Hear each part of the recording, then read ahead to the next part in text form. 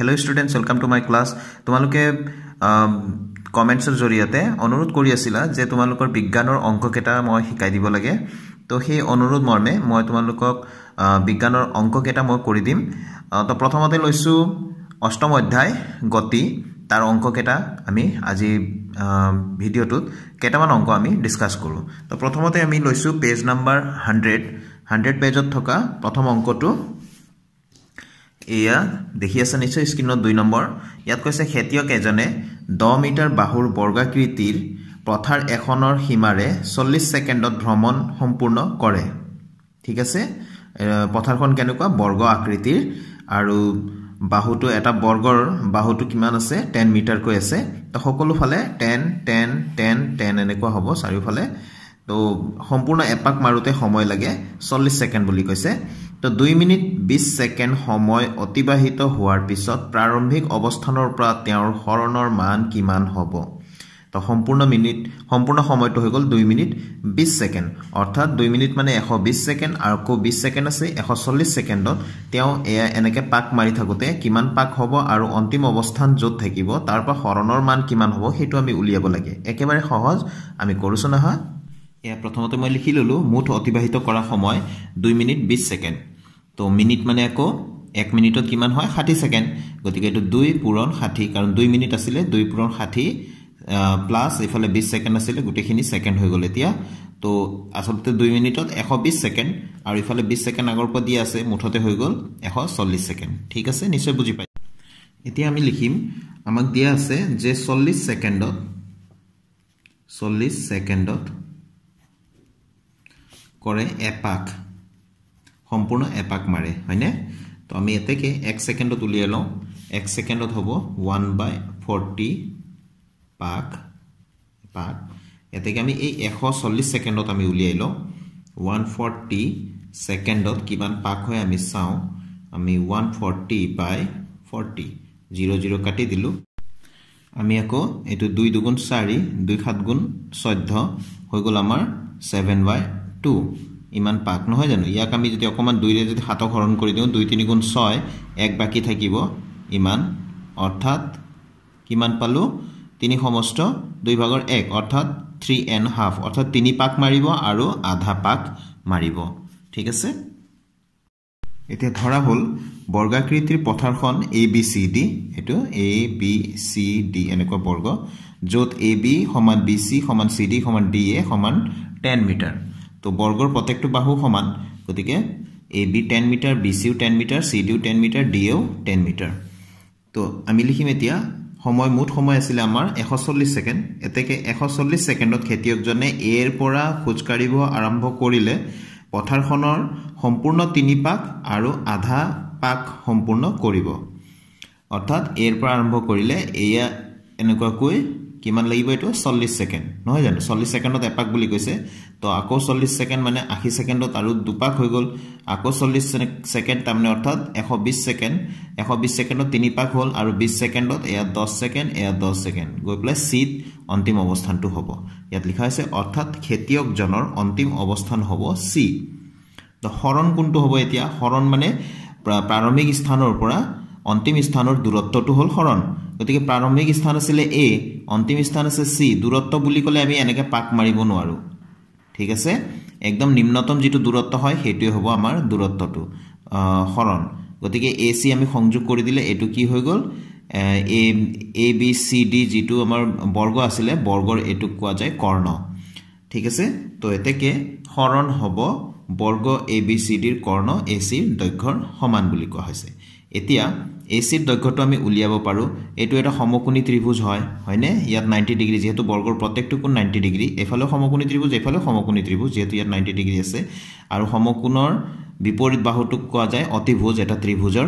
গতিকে এই অচি এ চি অতিভুজটোৰ আমি দিশটো আমি নিৰ্ণয় কৰিব পাৰোঁ পাইথাগোৰাছৰ উপপাদ্য মতে এতেকে আমি লিখি দিছোঁ। এতেকে সমকোণী ত্ৰিভুজ এ বি চিত পাইথাগোৰাছৰ উপপাদ্য মতে পাইথাগোৰাছৰ উপপাদ্য মতে মানে কি আছিলে? অতিভুজৰ স্কুৱেৰ অৰ্থাৎ অতিভুজটো ইয়াত কি আছে? এ চি তো চি স্কুৱেৰ ইকুৱেল টু বাকী দুটা বাহুৰ স্কুৱেৰৰ যোগফলৰ সমান। বাকী দুটা বাহু মানে এ বি আছে এ বিৰ স্কুৱেৰ যোগফল আনটো আছে বি চি স্কুৱেৰ এই দুটা বাহুৰ স্কুৱেৰৰ যোগফলৰ সমান। এইটো হৈ গ'ল পাইথাগোৰাছৰ উপপাদ্য। তোমালোকে নিশ্চয় পাইছা গণিতত। পাইথাগোৰাছৰ উপপাদ্য ক্লাছ ছেভেনৰ পৰাই আমি পাওঁ পাইথাগোৰাছৰ উপপাদ্যৰ বিষয়ে। তো আমি এইফালে আমাক এ চিৰ মানহে লাগে। এ চি আমি যদি কৰোঁ এইফালে আমি কি দিব লাগিব? বৰ্গমূলৰ চিনটো দিব লাগিব। আমি লিখিম এতিয়া A B square plus B C square বৰ্গমূলৰ ভিতৰত। তো আমি এতিয়া এ চিৰ মানটো এইটো এ চি এ চি লিখি নাথাকোঁ আৰু লিখিবও পাৰা। নিলিখিলেও হ'ল এ বিৰ মানটো কিমান? টেন। তো টেন স্কুৱেৰ প্লাছ বি চিৰ মানো টেন। প্ৰত্যেকটো বাহু সমান। তো টেন স্কুৱেৰ লিখিলোঁ। ঠিক আছে? তো কেইটা টেন স্কুৱেৰ যোগ হৈ আছে? দুটা টেন স্কুৱেৰ নহয় জানো? গতিকে আমি লিখিব পাৰোঁ এইটো টু ইনটু টেন স্কুৱেৰ ঠিক আছে? এতিয়া পূৰণত আছে যিহেতু এইটো টেনটো স্কুৱেৰ আছে। গতিকে আমি বাহিৰত উলিয়াই আনিব পাৰোঁ। ইয়াৰ কাৰণে বৰ্গমূল চিনটো নোহোৱা হৈ যাব। তো টেন ৰুট টু গোটেইখিনি মিটাৰত আছিলে। তো আমি লিখি দিম A C equal to ten root two এইটো মিটাৰত আছিলে। আমি মিটাৰ দি দিম। এইটো হৈ গ'ল আমাৰ হৰণ। এতেকে হৰণ equal ten root over two metre এইটো হৈ গ'ল আমাৰ উত্তৰটো। নিশ্চয় বুজি পাইছা? আমি নেক্সট কুৱেশ্যনলৈ যাওঁ। তো এতিয়া আন এটা অংক এটা লৈছোঁ পাঠভিত্তিক প্ৰশ্নৰ। এশ দুই নম্বৰ পেজত থকা ভেৰি ইণ্টাৰেষ্টিং আৰু অতি সহজ কুৱেশ্যন ইয়াত দিয়া আছে কুৱেশ্যন নম্বৰ ফাইভ এইটো।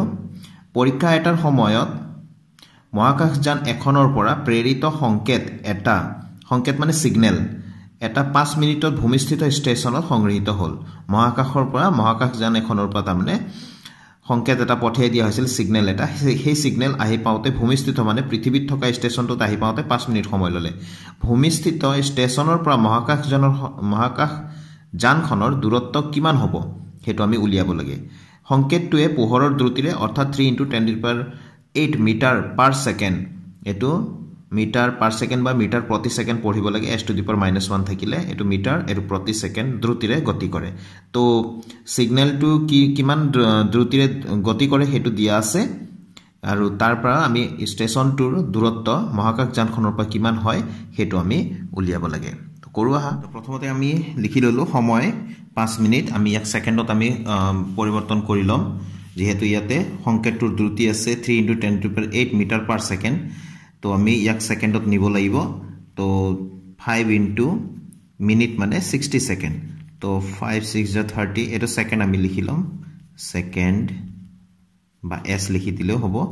তো কিমান হ'ব? থ্ৰী হাণ্ড্ৰেড ছেকেণ্ড ঠিক আছে? এছ লিখিছোঁ এইটো। এছ লিখিলে হ'ল ছেকেণ্ড মানে।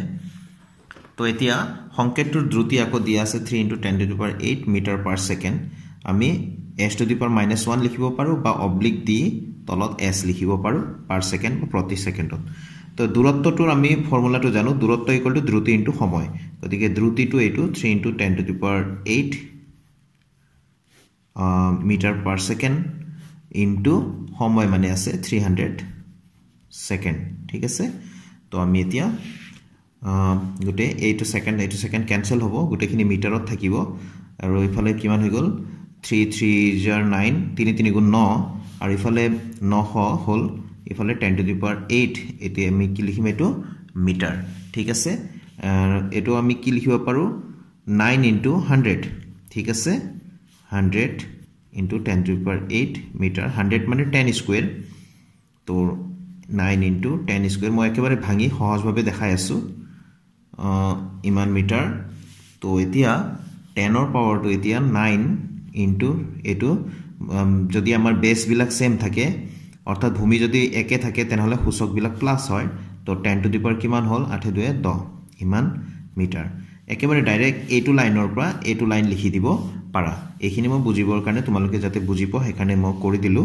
তো এইটো হৈ গ'ল আমাৰ দূৰত্ব।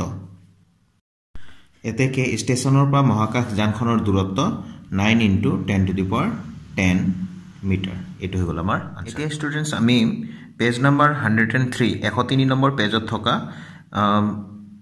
প্ৰশ্নাৱলীৰ আন দুটা আমি কুৱেশ্যন আমি ইয়াত ছল্ভ কৰিম। ইয়াতে কুৱেশ্যন নম্বৰ টুত আছে বাছ এখনৰ দ্ৰুতি পাঁচ ছেকেণ্ডত ফাইভ ছেকেণ্ডত এইট্টি কিলোমিটাৰ পাৰ আৱাৰৰ পৰা ছিক্সটি কিলোমিটাৰ পাৰ আৱাৰলৈ হ্ৰাস পালে। বাছখনৰ ত্বৰণ নিৰ্ণয় কৰা। তো ত্বৰণ মানেতো আমি জানোৱে V minus U by T students আমি কি কি দিয়া আছে লিখি ল'লোঁ। টি সময় দিয়া আছে ফাইভ ছেকেণ্ড ইউ অৰ্থাৎ প্ৰাৰম্ভিক বেগ দিয়া আছে এইট্টি কিলোমিটাৰ পাৰ আৱাৰ এইচৰ ওপৰত মাইনাছ ওৱান দিও লিখিব পাৰি তেতিয়া অব্লিকটো দিব নালাগে। অব্লিকটো দিলে অকল এইচ লিখিলে হ'ল। তো ভি অন্তিম বেগ দিয়া আছে ছিক্সটি কিলোমিটাৰ পাৰ আৱাৰ তো আমি জানো তৰণৰ সূত্ৰটো হৈ গ'ল A equal to V minus U by T এইটো হৈ গ'ল তৰণৰ সূত্ৰ ঠিক আছে? তো সেইকাৰণে আমি ভি মাইনাছ ইউটো আগতে উলিয়াই লওঁ এতেকে ভি মাইনাছ ইউ আমি ভি আছে ছিক্সটি আৰু ইউ আছে এইটি দুয়োটাই কিলোমিটাৰ পাৰ আৱাৰ সেইকাৰণে আমি পটাপট মাইনাছ কৰিব পাৰোঁ। এককটো আমি একেলগে লিখি দিলোঁ। তো কিমান পাম আমি? এইটো minus twenty kilometre per hour. ঠিক আছে? আৰু এইচ মানে ঘণ্টা আৱাৰ। তো মাইনাছ টুৱেণ্টি কিলোমিটাৰক আমি মিটাৰলৈ নিবলৈ হ'লে এহাজাৰ দি আমি পূৰণ কৰিব লাগিব। এইটো মিটাৰ হৈ গ'ল। আৰু তলত আছে এইচ। এইচক আমি আৱাৰটোক এতিয়া আমি মিনিট বা ছেকেণ্ডলৈ আমি নিব লাগে। ছেকেণ্ডলৈ। তো এঘণ্টাত হৈ যায় ষাঠি মিনিট। মিনিটটো আকৌ ছেকেণ্ডলৈ লৈ গ'লে মিনিটটো আকৌ ছিক্সটি ছেকেণ্ড হৈ যাব। তো ছিক্সটি ইণ্টু ছিক্সটি পূৰণ কৰিলে আমি এঘণ্টাটো আমি ছেকেণ্ডলৈ পৰিৱৰ্তন কৰি দিব পাৰোঁ এনেকৈ। তাৰপিছত ইয়াত হৈ গ'ল এইটো এতিয়া মিটাৰ পাৰ ছেকেণ্ড হৈ গ'ল। ঠিক আছে এতিয়া যি যি কটাকটি কৰিব পাৰোঁ কৰি দিওঁ। টুৱেণ্টিৰে ছিক্সটিক তিনিবাৰ যাব। এই জিৰ' এই জিৰ' কাটি দিলোঁ। তাৰপিছত দুইৰে আমি কাটিব পাৰোঁ দুই তিনি গুণ ছয় দুই পঞ্চাছ গুণ এশ। তো আমি পালোঁ কিমান? তলত নাইন ওপৰত পালোঁ minus fifty metre per second metre প্ৰতি ছেকেণ্ড ঠিক আছে? এতেকে আমি তৰণটো উলিয়াব লাগে। আমি লিখিম যিহেতু তৰণৰ সূত্ৰটো লিখিম তৰণ তৰণ A equal to V minus U by T তৰণক এৰে বুজোৱা যায়। তো ভি মাইনাছ ইউৰ মানটো আমি পাতি দিওঁ। মাইনাছ ফিফটি বাই নাইন আছে হয়নে? আৰু টি তলত আমি কি পূৰণ কৰিব লাগে? টি মানে কিমান দি আছিলে? ফাইভ ছেকেণ্ড ঠিক আছে? তো এইটো মিটাৰ পাৰ ছেকেণ্ড আছিলে আৰু তলত আৰু এটা ফাইভ ছেকেণ্ড আহি গ'ল তো মিটাৰ পাৰ ছেকেণ্ড স্কুৱেৰ হৈ গ'ল। তো এইটো পাঁচ দহ গুণ পঞ্চাছ ঠিক আছে? এই পাঁচক আমি পাঁচ এগুণ পাঁচ এই পঞ্চাছক আমি পাঁচ দহ গুণ পঞ্চাছ কাটি দিলোঁ। তো আমি পালোঁ minus ten by nine metre per second square. এতিয়া নাইনেৰে টেনক যদি আমি হৰণ কৰোঁ আমি পাওঁ মাইনাছ চিনটোতো আছেই ওৱান পইণ্ট ওৱান ওৱান এনেকুৱা প্ৰায় আমি পাম। তো মিটাৰ পাৰ ছেকেণ্ড স্কুৱেৰ। তোমালোকে হৰণ কৰি চাবা এনেকুৱা হ'ব। ঠিক আছে? তো শেষত লিখি দিলোঁ। মাইনাছ চিনে বেগ কমি যোৱাটো সূচাইছে। এইখিনি হৈ গ'ল আমাৰ কৰিবলগীয়া। এইটো হ'ল আনচাৰটো। আমি শেষত এইটো লিখি দিব লাগে। এতিয়া আমি ষ্টুডেণ্টছ এশ তিনি নম্বৰ পেজৰে আন এটা কুৱেশ্যন লৈছোঁ। ৰেলগাড়ী এখনে ষ্টেচন এটাৰ পৰা যাত্ৰা আৰম্ভ কৰি সুষম তৰণেৰে টেন মিটি টেন মিনিটত তাৰ দ্ৰুতি ফৰ্টি কিলোমিটাৰ প্ৰতি ঘণ্টালৈ বৃদ্ধি কৰিলে। ইয়াৰ ত্বৰণ নিৰ্ণয় কৰা। অতি সহজ আমি ফটাফট কৰোঁ। টি টেন মিনিট দিয়া আছে। ইয়াক আমি ছেকেণ্ডত পৰিৱৰ্তন কৰি ল'ব লাগিব। তো টেন মিনিট মানে টেন ইনটু ছিক্সটি এইটো ছেকেণ্ড হ'ব তেতিয়া এছ লিখি দিছোঁ। তাৰপিছত ইউ অৰ্থাৎ প্ৰাৰম্ভিক বেগ equal to zero' metre per second কিয় লৈছোঁ? কিয়নো ষ্টেচনত ৰৈ আছিলে ৰৈ থকা অৱস্থাৰ পৰা যাত্ৰা আৰম্ভ কৰিছে ৰেলগাড়ীখনে সেইকাৰণে জিৰ' মিটাৰ পাৰ ছেকেণ্ড লৈছোঁ ৰৈ থকা অৱস্থাত যিহেতু। তো ভি অন্তিম বেগ দিয়া আছে ৰৈ থকা অৱস্থাৰ পৰা ফৰ্টি কিলোমিটাৰ পাৰ আৱাৰলৈ বৃদ্ধি হৈছিলে দ্ৰুতি। গতিকে এইটো ভি অন্তিম বেগ ফৰ্টি কিলোমিটাৰ পাৰ আৱাৰ দিছোঁ। গতিকে ইয়াক আমি এতিয়া মিটাৰ প্ৰতি ছেকেণ্ডলৈ পৰিৱৰ্তন কৰি দিওঁ। ফৰ্টি ইনটু কিলোমিটাৰ মানে এহাজাৰ মিটাৰ হয়নে? আৰু এইচ মানে ছেকেণ্ডলৈ নিবলৈ হ'লে দুটা ষাঠি পূৰণ কৰিব লাগিব। তো এইটো হৈ গ'ল মিটাৰ পাৰ ছেকেণ্ড। ঠিক আছে? এতিয়া আমি ইচ্ছা কৰিলে আমি কটাকটি কৰি দিব পাৰোঁ। ইয়াৰ জিৰ' ইয়াৰ জিৰ' কাটি দিলোঁ ইয়াৰ জিৰ' ইয়াৰ জিৰ' কাটি দিলোঁ হয়নে? এইটো দুই দুগুণ চাৰি এইটো দুই তিনি গুণ ছয় আকৌ এই দুইৰে এই ছয় দুই তিনি গুণ ছয় এনেকৈ কাটি দিলোঁ। তো কিমান হৈ গ'ল এতিয়া আমাৰ ইয়াতে? ওপৰত আছে হাণ্ড্ৰেড আৰু তলত আছে নাইন এইটো মিটাৰ পাৰ ছেকেণ্ড হ'ল। ঠিক আছে? তো আমি প্ৰথমতে তৰণ উলিয়াবলৈ হ'লে ভি মাইনাছ ইউটো আমি হিচাপ কৰি লওঁ। তো এতেকে ভি মাইনাছ ইউ প্ৰাৰম্ভিক বেগ মাইনাছ অন্তিম বেগ। তো ইয়াতেতো আমাৰ কি আছে? হাণ্ড্ৰেড বাই নাইন আৰু ইফালেতো জিৰ'ই আছে ইউ মানে তো zero' equal to hundred by nine metre per second এইটো নকৰাকৈ ডাইৰেক্টো ফৰ্মুলাত তোমালোকে বহুৱাব পাৰা যিহেতু তৰণ